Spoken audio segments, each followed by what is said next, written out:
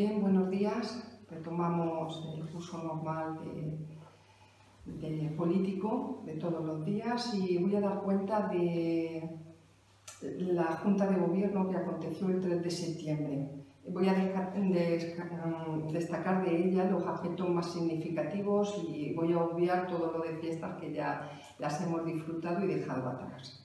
Bien, para mejorar el servicio de recogida de residuos sólidos urbanos y de limpieza viaria, en mayo se sacaron los pliegos para el arrendamiento financiero en la modalidad de, de renting de unos nuevos vehículos que se necesitan para poder atender este servicio.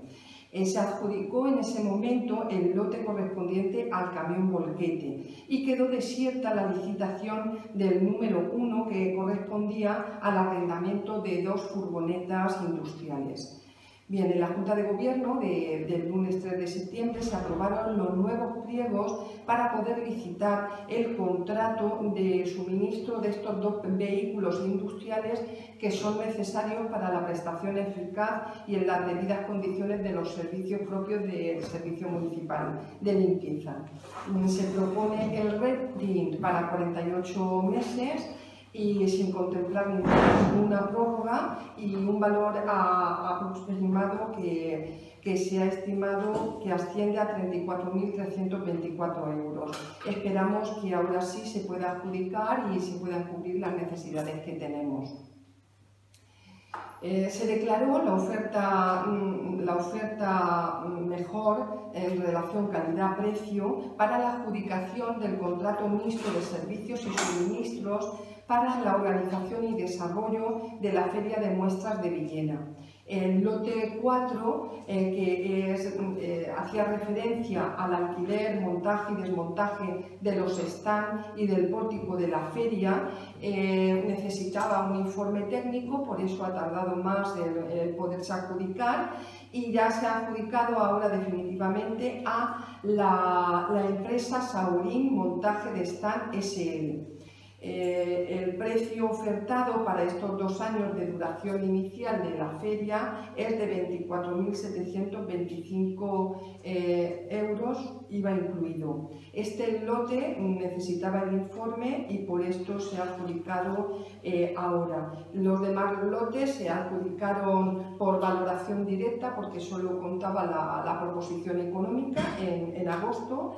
y, y otros quedaron desiertos que se han hecho los encargos correspondientes para que se pueda eh, llevar a cabo la, feria de muestras eh, en Villena.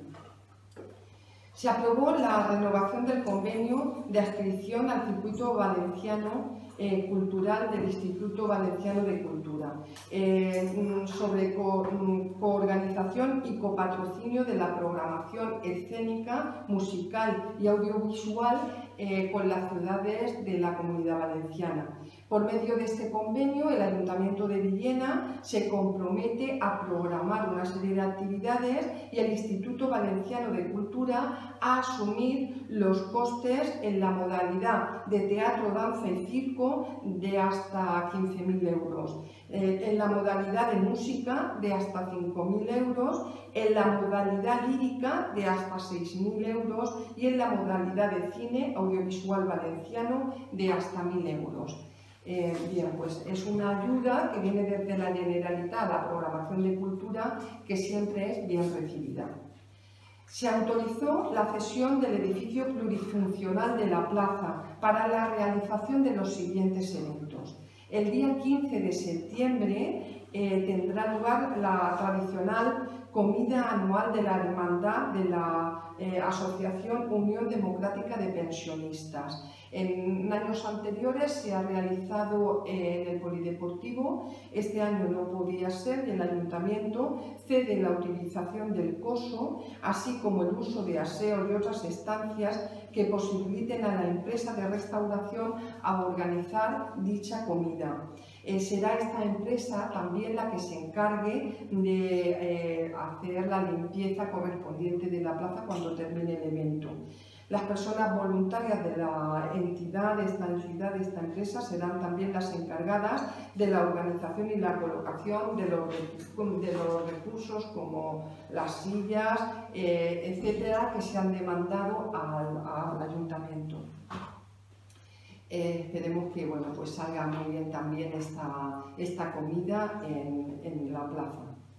Con motivo de la 23 Feria de Muestras de Villena, también se cede la plaza el sábado 29 de septiembre para la realización de una cena benéfica, catamaridaje, en honor a Tony Díaz, eh, debiendo quedarse también limpia tras el evento. Es una, una cata que, con maridaje que se hace a esta persona que que por circunstancias de un accidente eh, pues falleció y, se quiere rendir homenaje. Ya en el domingo 30 de octubre también se aprobó la realización del 19 Concurso Nacional Canino, actividad que está integrada en el programa oficial de actos de la feria que será debidamente presentado. Y bueno, finalmente ya sí que quiero comentar que por despacho extraordinario se aprobó el pliego de prescripciones técnicas y el de cláusulas administrativas particulares para la contratación del servicio de redacción del proyecto básico y de ejecución, dirección de obras y sus instalaciones y la coordinación de seguridad y salud de la rehabilitación del Palacio Consistorial de Villena por fin, eh, este proyecto va a empezar su andadura. Es un proyecto que va a poderse llevar a cabo eh, por la cofinanciación del programa operativo FEDER de la Comunidad Valenciana 2014-2020. estos fondos europeos eh, son fondos para la protección, conservación y recuperación de bienes de patrimonio cultural valenciano y su puesta en valor y eh, la resolución definitiva de la concesión de esta ayuda al Ayuntamiento de Villena eh, salió publicada en el diario oficial de la Generalitat Valenciana este 4 de septiembre. la cantidad que nos, han, nos subvenciona es de 499.794 euros y el ayuntamiento, para garantizar que esta obra de este proyecto se pueda realizar en su totalidad, eh, aprobó una modificación presupuestaria para poder eh, asumir la financiación total de la obra. Ahora también, esto bueno, se aprobó en el pleno de agosto, ahora también estamos en la espera de que en noviembre salga la resolución de las ayudas del 1,5% eh, cultural del Ministerio de Fomento, a la que a estas ayudas también hemos solicitado una subvención. Si esta realmente después es favorable, el proyecto podrá contar con otra subvención importante que hará que el ayuntamiento solo tenga que asumir, asumir el 10%. Recuerden que la inversión que se va a realizar en este palacio consistorial para la rehabilitación del ayuntamiento es de 1.209.501 euros. Eh, los dos objetivos que esperamos cubrir con este contrato que ahora licitamos son el conseguir conservar eh, este edificio emblemático y protegido eh, para que el deterioro no se siga produciendo y evitar también el colapso que los informes técnicos están indicando que se puede producir de no haber ninguna intervención. También eh, realizamos una actuación integral que consiga garantizar el uso para dependencias municipales, acogiendo los servicios del ayuntamiento de la ciudad y preservando el carácter visitable y turístico de este edificio. Bien, para redactar el programa de necesidades municipales que debe cubrir este edificio y que vienen reflejados en el pliego que estamos licitando y los criterios de valoración para su adjudicación, nos hemos reunido durante eh, la última semana de agosto con los grupos de la oposición para recoger sus pareceres y sus sugerencias antes de cerrarlo y podemos, lo hemos podido aprobar por unanimidad, ya que es una obra fundamental que va a trascender la legislatura y que los partidos, todos los partidos, los partidos deben estar implicados en ella. La distribución que hemos hecho del edificio futuro, hemos considerado que en la, planta baja debería acoger eh, los servicios de mayor atención al público, como van a ser citas, rentas, contratación, va a estar el punto de información turística y, también eh, el salón de plenos y uso múltiples eh, para que sea funcional, ya que en nuestra ciudad pues, se necesita esa sala de, un aforo de a lo mejor 70 eh, personas que pueda también acoger y que esté preparada para ser el salón de pleno de, del ayuntamiento. En la primera planta, los servicios que se van a, eh, eh, recoger son mayormente los de uso político, como son la alcaldía, los grupos políticos. El salón de actos que hay en la actualidad eh, se va a conservar para actos de protocolo, para actos de carácter más, más mm, importante, también para bodas y va a ser también va a tener un carácter visitable. También se recogerá en esta sala una sala de reuniones que se pueda eh, utilizar y eh, eh, estará situado el departamento de comunicación y la sala de prensa. En la, planta segunda, los, departamentos ya de intervención, tesorería, personal, informática, servicios jurídicos y secretaría. Y una sala de descanso para el personal y también una sala de reuniones que se pueda utilizar por eh, los múltiples departamentos que eh, aquí se acogen. Bien, eso ha sido el consenso al que se ha llegado con los grupos para, para, que se cubran esas necesidades y dicho contrato se va a realizar mediante un procedimiento abierto y tramitación ordinaria y se plantean dos lotes. En un primer lote va la redacción del proyecto básico y de ejecución y dirección de obras y sus instalaciones y en un segundo lote eh, hace referencia a la realización en la fase de ejecución de obras de la coordinación de seguridad eh, y, salud para la rehabilitación del Palacio Consistorial. El valor estimado del contrato asciende a la cantidad de 132.921 euros, IVA incluido, y de los que eh, se desglosa en 122.381 euros, eh, que son el presupuesto base de licitación del lote 1, y 10.539 euros, que es el presupuesto del lote 2.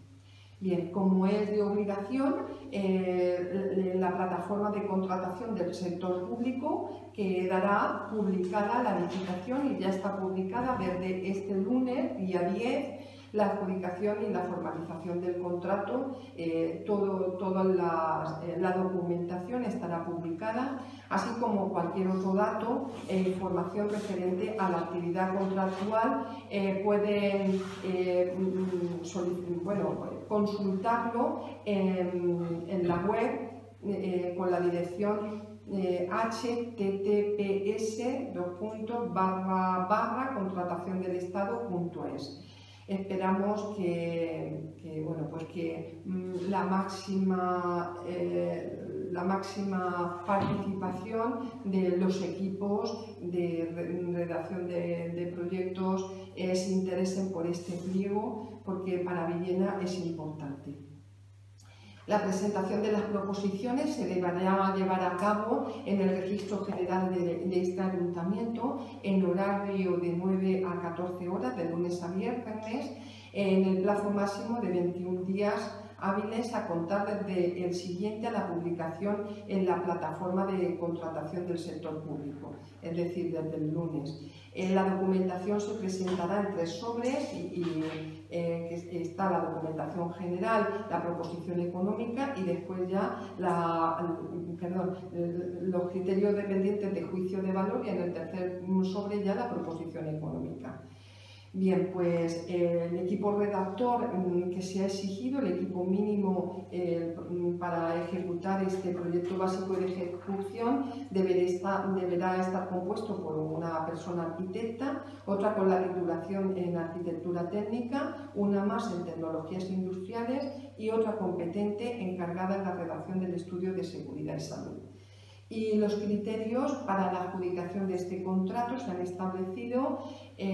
primero, los que son de forma evaluable, de forma automática, que van a tener un máximo de hasta 51 puntos y estará con 20 puntos la, baja económica, eh, con 10 puntos la, reducción del plazo, el plazo para la ejecución se establece en 75 días y la reducción que, mm, máxima que puede haber es hasta 60, no queremos que, vaya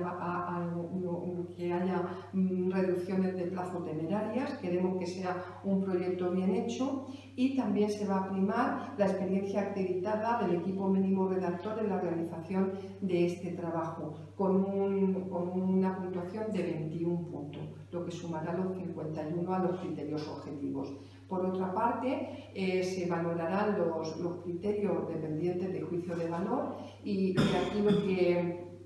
lo que se valora son el ajuste y el encaje al programa de necesidades que tendrá, mm, se premia con 20 puntos, la racionalización en la confección del presupuesto 5 puntos, integración de las soluciones de rehabilitación y restauración eh, con el carácter histórico del edificio 5 puntos, empleo de soluciones y materiales sostenibles ambientalmente para optimizar la eficacia energética 9 puntos y la potenciación del carácter turístico y visitable del edificio con 10 puntos.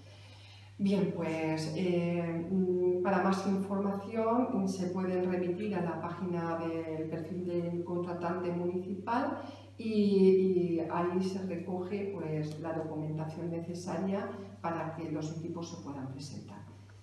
Esperemos que podamos adjudicar lo antes posible y ya empezar toda la tramitación porque estamos sujetos a, una subvención y ya mm, creemos que este es el primer paso de muchos que se tienen que dar.